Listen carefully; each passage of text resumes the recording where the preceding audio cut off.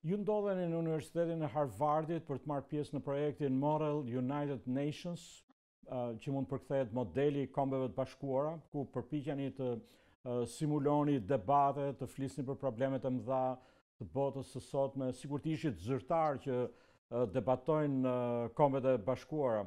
Një pyetje për Medinën, çfarë keni mësuar në këtë program Medina?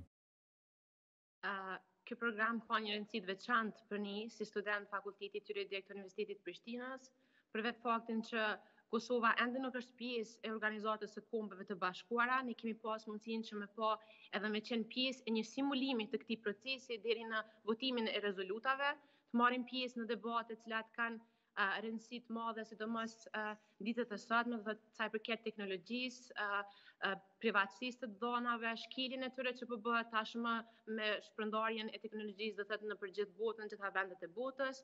Përndryshe kemi pasur po ashtu mundësi që me u taku me studentë uh, të fakulteteve të gjitha bot, gjithë botës, me profesorë shumë të njohun, me shkëmby eksperiencat tona, informata, sa i përket sidomos bursave universitare të cilat kemi mundësi me i marrë etj. Pra ju keni bërë debate, domethënë simulim debate, sikur të ishit, sikur Kosova të ishte vend anëtar i kombeve të bashkuara, kështu Artenit?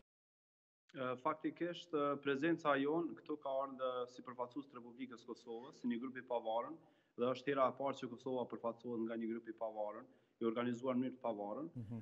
Ne në këtë si model model siç edhe quhet ajo, kemi ardhur duke përfaqësu shtetet tjera që janë pjesë e kombeve të bashkuara, pasi që vetë gara dhe konferenca organizohet në këtë mënyrë që përfaqësues të shteteve, përfaqësojnë shtetet e tjera, pra një numër të madh të shteteve që janë në kuadër të kombeve të bashkuara.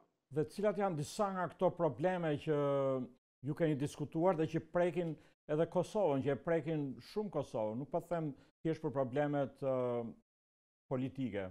Janë kaq programe konkrete që japin një zgjidhje për problemet që lidhen me, siç thatë dhe ju, mm. mjedisin ose edhe me çështjet ekonomike, bankare, financiare, çështjet juridike, mm. cyber security dhe probleme të ndryshme që i ka mm. që i prekin shtetet. Medinë, Kosova ende nuk është pjesë e Kombeve të Bashkuara, por sa e rëndësishme është që përveç se politikisht anëtarësimi i Kosovës në OKB, e cila përndryshe është edhe një organizatë mjaft burokratike dhe nuk e ka të lehtë të zgjidhë problemet e botës, pra sa i rëndësishëm do të ishte një anëtarësim i Kosovës në OKB?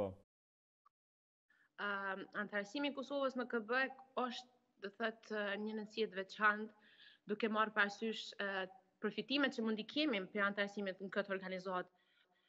Rëndësia që Kosova të antarësohet në organizatën e Kombeve të Bashkuara është jetike, është e madhe.